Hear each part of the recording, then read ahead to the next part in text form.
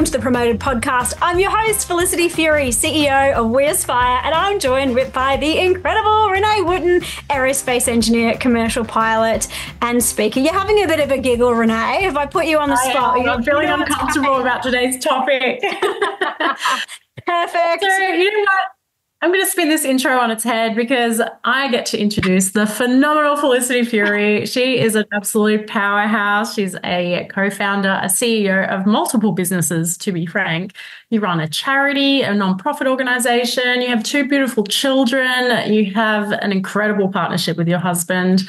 And you're an absolute weapon of an engineer who's had just the most phenomenal career. So, what a pleasure to hold this space with you and have these conversations. Oh, thanks, Renee. You're too kind. I do get to steal the intro, so I love that you flipped it around. I think we should do that more often. That was very fun. Well, today's topic is going to be a tricky one. We've got uh, we've got some butterflies in the tummy. I know I do for sure, and makes sense because we're going to dive into having difficult conversations. And I think as a leader or as anyone, actually, if you I don't know if you speak to any humans out there, then this is something that you probably need to do. It could actually be a difficult conversation in your family with your friends, with your partner, or in the workplace. And I reckon this is probably our most requested topic to train first time leaders in is can you help our people improve or actually go have? It's not even like improve the conversations because a lot of the time they're just not having them they're avoiding them. So how do you go have a difficult conversation?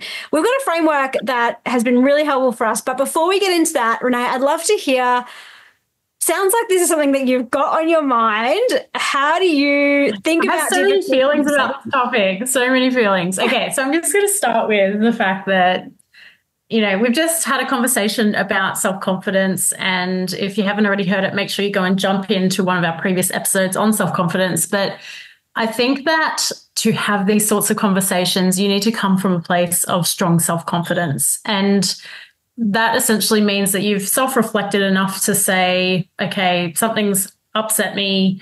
I have my boundaries. I have my values. This has conflicted with some of those things. And therefore, I might need to go and have a conversation with someone. Or perhaps it's not even a conversation you need to go and have, but it's certainly a conversation you need to have with yourself because someone may have, again, you know, walked a line that you weren't comfortable with, and you've got to pick your battles. So, which conversation do you have? Is it the one you have with yourself, or is it the one you have with the individual? And so, being able to process those emotions that was so, super important. And I, I guess to start this conversation, I do want to kind of just give people a safe space to say, you're human. We all have emotions, and people trigger each other, whether it's at home in your community or in your workplace. We have all been raised in different ways.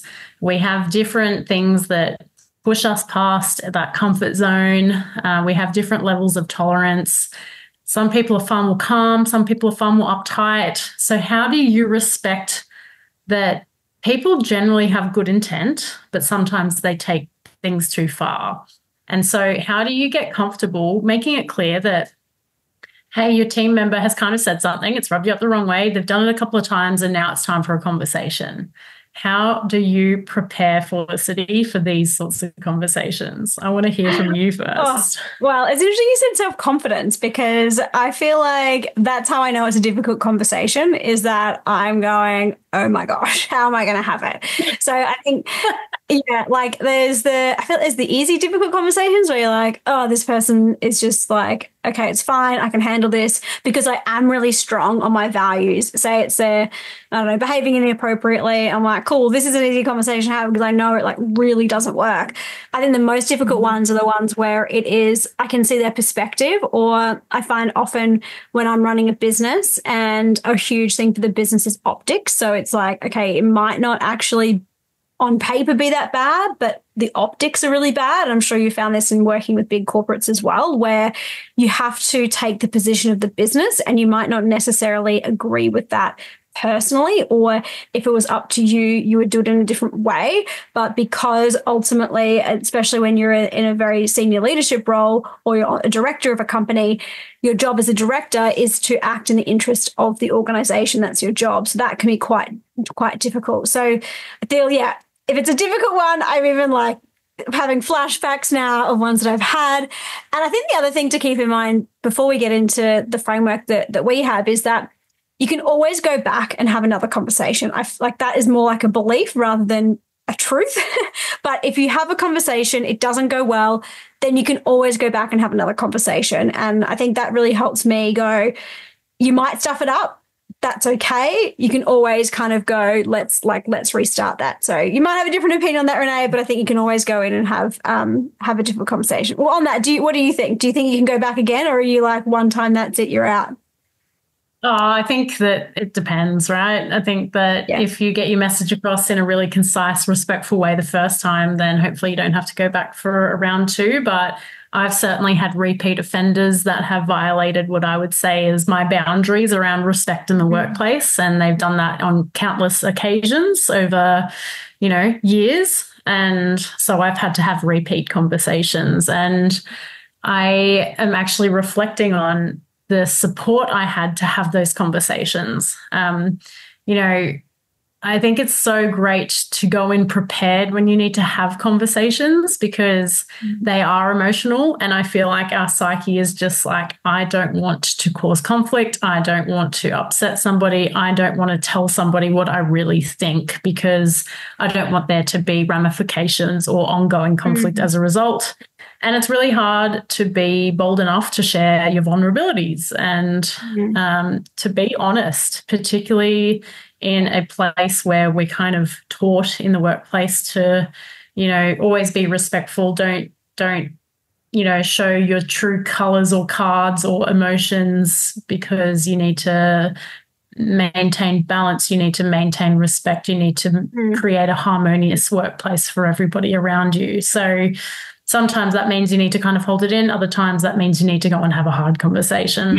so uh, I'm taken back to a conversation I probably had to have about a year ago now. And, and uh, this person was getting under my skin and um, I was getting quite emotional about it.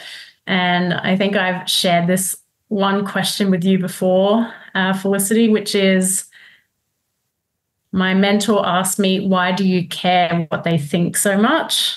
And that was a really great point of uh, reflection for me because I almost was able to just kind of lift that weight off my shoulders and stop caring because I actually couldn't answer that question. I cared mm. because my values were being violated, mm. but why does that matter? What is it? Apart from a bit of an ego bruise or just me wanting to be respected, there was no further ramifications. So it was something I just kind of had to just let go of essentially. Yeah. And then, second to that, um, I was taught by this mentor to really not get defensive when you're having conversations, to really actively listen um, mm. to people's answers to your questions. And when you're asking somebody, uh, make sure you keep asking why. So, for example, you've done this thing. I just want to understand why you felt you needed to do that. And the reason why that's important is because then the other person has to explain their feelings and their reaction. And you don't have to then sit there and say, You've done this, it's made me feel like this, I don't want you to do that again. Because that's almost that defensive position. Whereas if you try and understand mm-hmm. the other mm-hmm. person, perhaps you'll be you know, pleasantly surprised or it puts them in the hot seat, really. And I think that that's yes. really important because you can kind of then lead the conversation. Absolutely. Um, yeah. And I think, you know, I'm in a position at the moment where someone is again violating my values. and, um, and again, I don't think it's out of malice by any means. I think it's just that people have different ways of operating. And so it's up to me that if that continues to happen time and time again, then eventually, if it's still bothering me, it's up to me to then have that uncomfortable conversation. Um, yeah, and so I think that this is so valuable as a conversation, um, and I would love to hear the framework that you have because this is something that all of our listeners, uh, you know, anyone that is seeking a leadership role has to get good at. So where do they start, Felicity? Uh, 100%. And you kind of, you touched on it a lot in this conversation, which is super cool, Renee. So I think the key thing there is that you just talked about was seeking first to understand rather than to be understood. Which is a great one of the seven habits of highly effective people in Stephen Covey's book, which is so, so good to know. And I think often when we're coming into these conversations, yeah, that what's on your mind is like, they're an idiot. Can't they see they're being like this to me? And everyone has different values and none of them are wrong. It's just different. Like I, this example recently happened where Michael, my husband, went into Supercheap Auto. So Supercheap Auto, you know, from the name, you're going to guess they give you the cheap parts, right? So we wanted windscreen wipers. We went in and Michael said, Are these the best? And the guy said, Yep, these are the best. So he comes out with these like little blade things he's trying to like clip in. He's like, This is ridiculous. This is not what I want. These seem really cheap and horrible. So he went back and he said to the guy, Are these the best? Now, Michael's version of the best is something that was quick and easy, didn't care so much about cost. This this guy who's like a young young kind of guy, uh, probably you know late teens, early twenties. He was like his version of the best was the cheapest not at all what Michael wanted. So that day we went to Supercheap Auto three times to get Michael's version of the best, which wasn't the version of the person. so not really a difficult conversation, but you can see how values can be quite different, even when it's the word like the best. So no, no one's wrong. It's just, oh, okay, they're different. I think that's a really helpful thing to unpack and understand, particularly when you're working in a leadership role, you've got a team or you're working with colleagues in a team that people have different values to, and none of them are wrong. They're just different. So yeah, at any point where you can understand someone else first before saying what you want, and like you said, Renee, not be defensive is really, really powerful. So the framework that we use, and I even Michael and I use this together. One of the things about being married to your business partner is you have to actually work through all the conversations and the difficult ones too, because you can't quit, you can't go home and complain about your colleague. They're they're always there, and it's going to be in every aspect of your life. So we do. I think what's really great about working together, even though it's challenging, is that we do need to communicate completely and resolve everything pretty quick smart because you're parenting together, you've got, you know, work together and you've got life together. So the framework that we use is called FACE. So FACE stands for feelings and framing.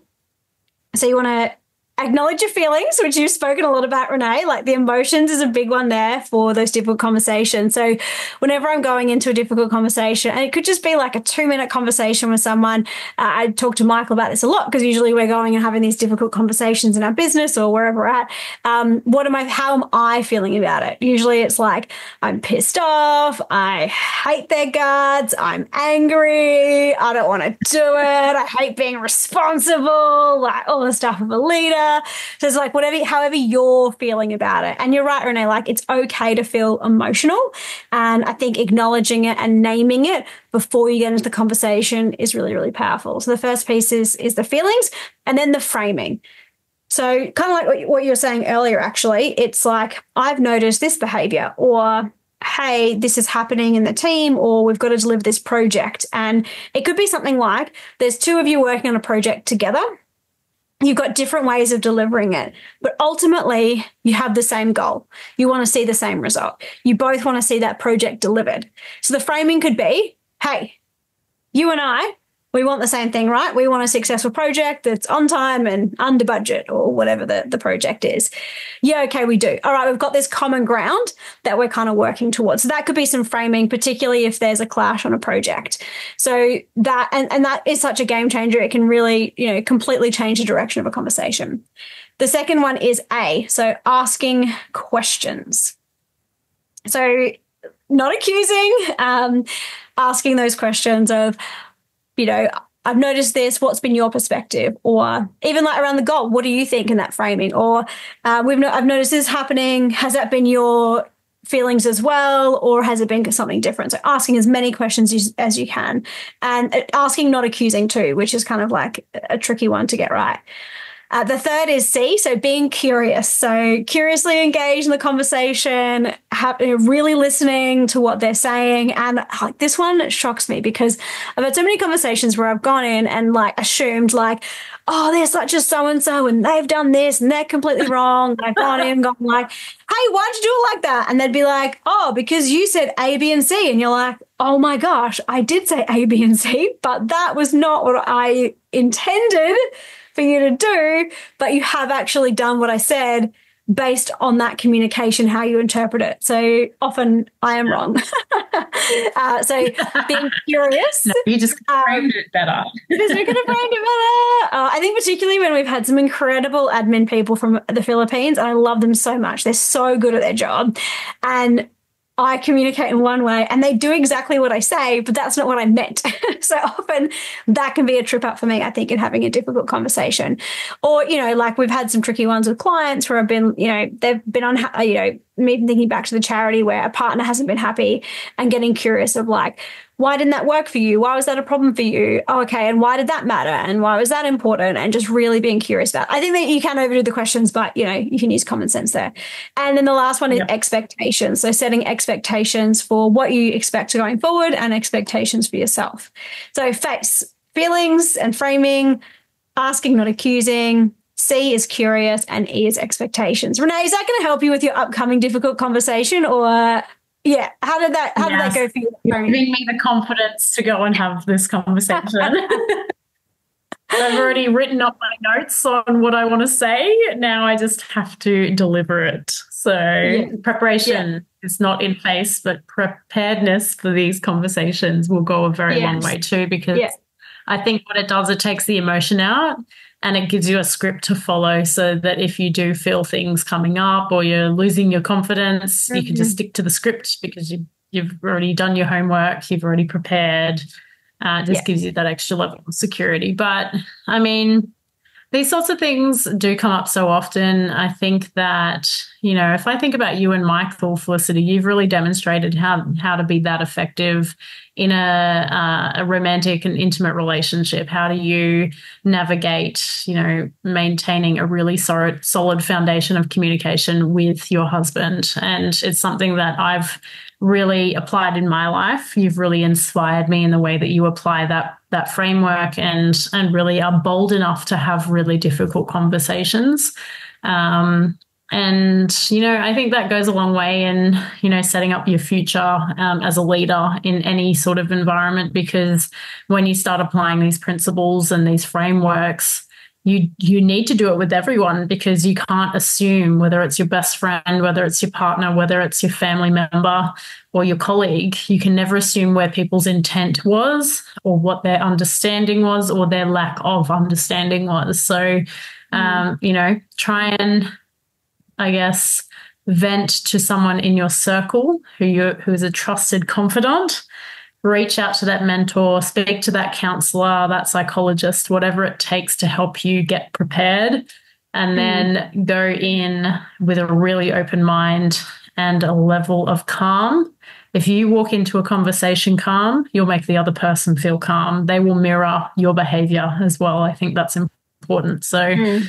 um, hard conversations, I don't think they ever get easier uh, in terms of that initial response when people violate your feelings or your values and, and you feel that triggered animalish response but i think the beautiful thing is you have that choice to to not respond in a moment to walk away gather yourself you know process your emotions plan out your response and then go in as a true leader 100% another yeah. great app Thanks, Renee. So good. And I, it's funny because every time, like I know this framework, and every time Michael and I go, let's use a framework, it like it totally works. And I feel like for me, the biggest one is the feelings and just getting and then and then asking questions, getting someone's other perspective because I am not someone who the feelings are not the most obvious thing for me, even though they're right there. And I might be like angry talking about this topic about like, oh, I've got to go talk to this person and I don't want to do it.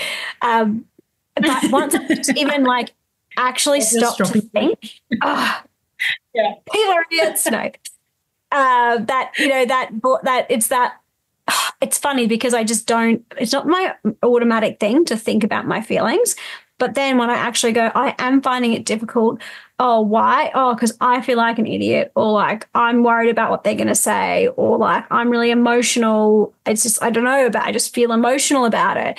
Just acknowledging that makes I feel like that's ninety percent of the work for me. And like you said, Renee, doing that that moment to prep like it could just be like a two second conversation is before you walk into the meeting, like, oh my gosh, how am I feeling? Because you might be in back to back meetings and you might have just come from another meeting that was really stressful and now you're bringing that into your next meeting. So I think if you just can get to the feelings and acknowledge that and that emotion um, and, and get the, the framing right, like you've done 90% of the conversation, because that's what usually trips me up. So, so good, Renee. You'll have to let us know how you go with your difficult conversation, uh, you know, offline, online. Like so thank you for the preparation session. We are doing live feedback, everybody. So our next app, uh, I'll give everybody the goss, but feeling good now. Um, I'm feeling ready. Awesome. So good. Well, we hope you've enjoyed this episode of the Promoted Podcast, the podcast that helps you get promoted and be great when you get there. Let us know what you think. Let us know your questions. We'd love to answer. We love seeing DMs come in and hearing from all of you, our lovely audience. Have a good end to your day, Renee. We'll see you on the next episode. See you in the next episode. Enjoy your day, Felicity.